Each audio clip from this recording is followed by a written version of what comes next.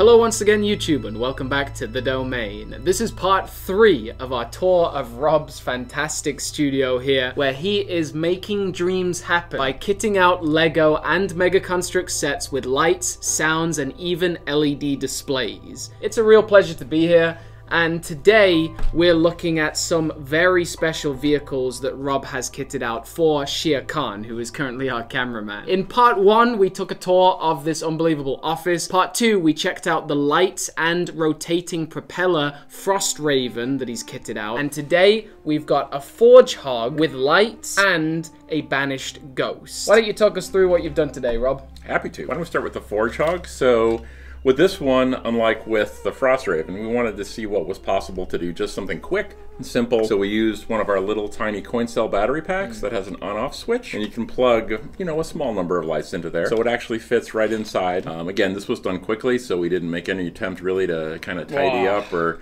hide anything too much, but there just wanted is. to show what was possible. So obviously we had to light the four headlights and then the lights up here in the weapon. If we had more time or if we had uh, wanted to take this a little bit farther, we would have looked at something in the plasma weapon with something kind of randomized. Right. Or even, I know in the kit, I didn't get it from Sheer, but I know that there's a little piece that you can actually have this up on a, a clear yeah, piece, yeah. right? So this could actually be pulsing or it could be doing its thing up there as well if you wanted to take it to the next level. But just for the basic setup, this took me less than five minutes to wire up and get everything minutes. in there. So it's very simple. We didn't have to modify any parts or drill holes or do anything. You can mm. see the wires here down in the back here and the base of the weapon, but sure. and you can see them underneath here as well. But everything fit in super easily and everything because of the closed nature of the cockpit, it was easy to get those things in there. So yeah, I think it looks pretty nice. It's just kind of a quick, simple way to get that thing set up. Yeah, it looks nice. I mean, first of all, these wires are just like hairline thin. They are so small, which is perfect for this kind of vehicle. We've got our four searchlights, and then, yeah, these Gauss cannon lights as well. And there are eight of them. So are they running into one board there? They are, yep. I actually set up a couple of, so there's two lights connecting uh, to each plug on this little battery board. So oh, okay. the battery board's got six of these plugs, and so we could theoretically run, you know, 12 lights that way. The more lights you run, the less time the battery will last. This setup will probably last for at least 24 consecutive runtime hours. Yeah, so I think it's a great way to get started quickly and to show people what's possible. Heck yeah, that is so cool. So when we're talking about light, there are different kinds of sequencings you can have, right? So we've got on and off here.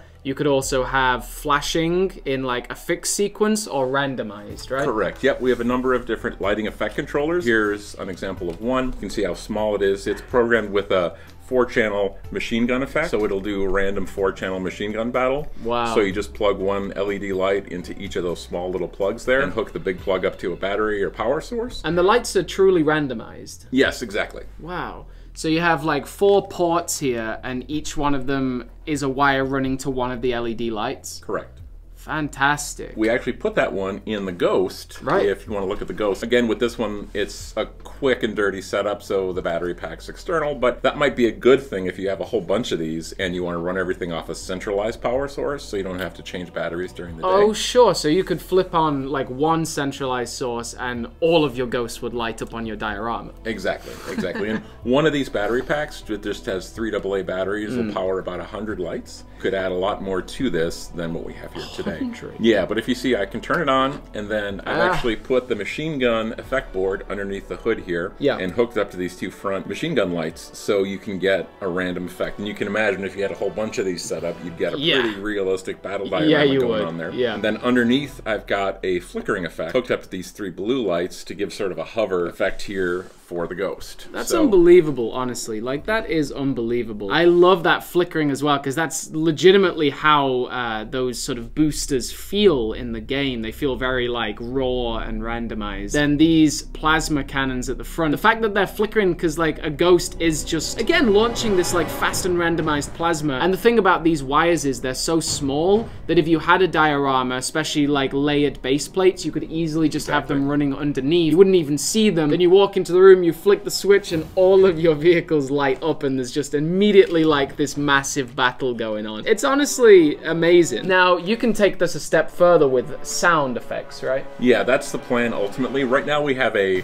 sound kit for machine guns. Mm. So you could um, put a machine gun on this setup, or if you had a uh, machine gun turret. Yep. We're working on getting more of the Halo laser turret sounds and the laser weapon sounds mm. into our machine gun or into our soundboards as well. So depending on interest, mm. people watching the video and comments, if they want to give suggestions of like what's our wish list, what's the number one effect, what's yeah. the number one sound you'd yeah. like to see, we can work on making that happen. And then, you know, ultimately, I'd like to be able to have each of these ghosts do its own kind of hover effect. Yeah. And then also yes. have a uh, plasma laser effect as well. Mm. That's all doable and it's all uh, it, the further down the price range you get, you can customize your own sound effects into this through your computer, right? I saw with your uh, Ghostbuster vehicle, you could actually add sound effects and like your favorite voice lines from Ghostbusters into the vehicle. Right. So we have the uh, we have two types of sound modules. One which is programmed by us, which you can't yeah. change, and the other which you can just plug into your computer and copy over your own sound files. Right. Exactly. And the good thing about our system is that you can start simple like this, and you can get the sound module later and add it on on, or you mm. can get the central power option later and add it on. Yeah. And you don't have to change anything.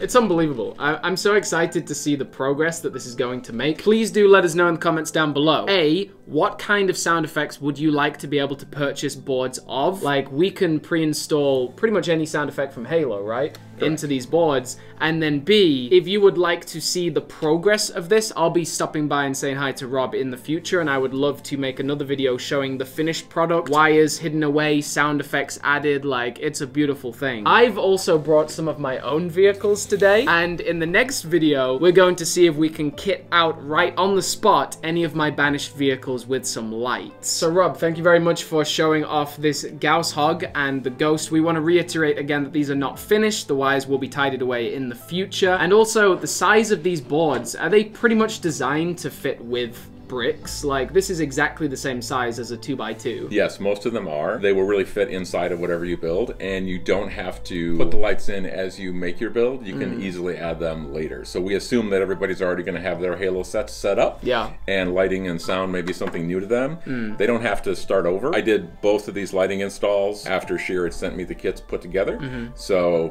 you can see you don't have to start from the beginning. Amazing. Well, Rob, thank you very much for this. Thank you, Simon. And thank you for the support on this video series. Please do check back next time where I'm going to see if I can kit out some of my Trader Joe's food with lights and sounds. no, some of my banished vehicles. and yeah, you stay awesome, you stay safe out there, folks. The domain, or the banished ghost, let's say, is signing off.